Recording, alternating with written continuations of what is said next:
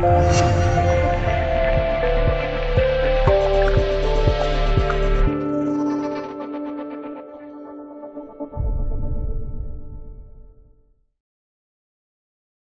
日，乌克兰国防部长波尔托拉克访问了北约总部。会后，其在记者会上对外称，在他和美国代理国防部长沙纳汉会晤后，双方已同意开始在安全领域开始第二批援助的关键行动。波尔托拉克表示，这次美方的援助将主要用于乌克兰海军，这将会加强乌海军对黑海及亚速海的控制能力。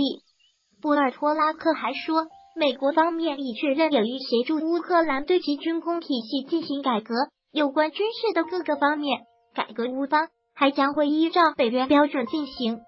另外，这位乌克兰国防部长还特别强调称，他们将会和合作伙伴进行一系列的活动，以强化乌克兰武装力量，来阻止俄罗斯对乌克兰的侵略。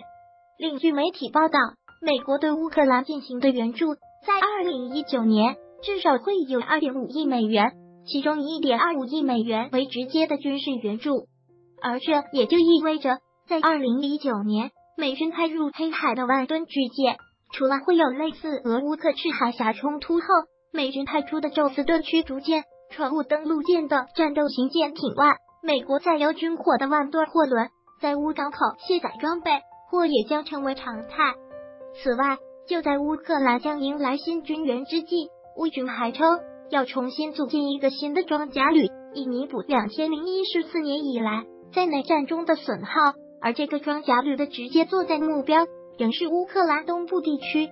另在日前，乌克兰总统波罗申科还表示，他会在近期签署关于在宪法中添加乌克兰加入北约和欧盟方针的法律。俄乌对抗的态势也正在升级。当然，对于乌克兰的动作。俄罗斯亦有强硬回应。俄军事专家穆拉霍夫斯基近日在受访时就直言，俄乌若爆发冲突，俄罗斯能迅速取胜，俄军还会向乌克兰和西方展示其现代化的军事成果。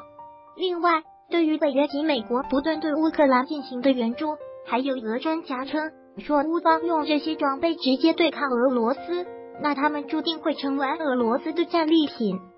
其实。对于俄方战利品的这种说法，美国也是存在担忧的。如去年，美国媒体就披露称，美国虽解禁了向乌克兰提供致命武器的限制，但却担心这些武器最终会落入俄罗斯的手中，因此美方就要求这些配备给乌克兰军队武器必须远离东部前线。而当时，俄罗斯专家对此也很直接的表示，若是能了解一下美国技术。俄方也是会觉得很有趣的。